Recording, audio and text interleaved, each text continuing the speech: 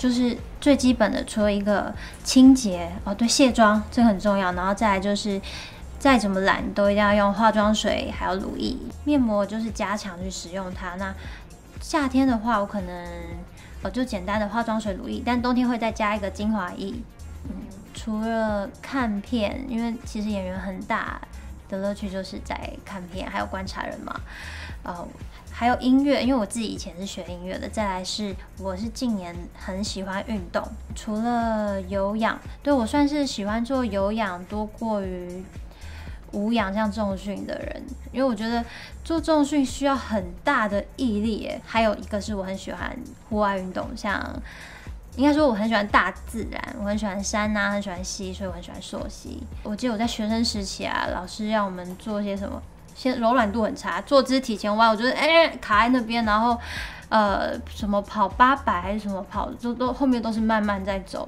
但是是真的是人会随着时间年纪改变，然后就会发现哎这个东西为什么我一直都没有很很会啊？所以我才会想说去突破进步一点的时候，呃你就会发现自己身体有些改变，然后呃。内外在，我觉得都会有有调整，这时候会有很大的一个成就感。所以，呃，基本上我对很多事都是这样，就是如果说我真的做了，我觉得我没有排斥，我有找到那个乐趣，好，我就会努力坚持下去去完成它。这样说好，因为我觉得人生啊，不管在做很多决定，就像呃比较大决定，或是。都一定会有多少会有一些声音，呃，去左右你。但我你一定要去听自己内心最深层的呃想法。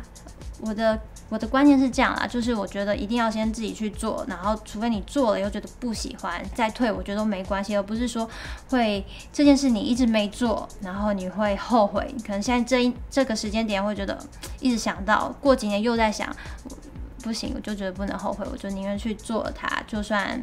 呃，不见得一定是成功的，或者是你预期的，但我觉得起码你有去做这件事情，你有去克服。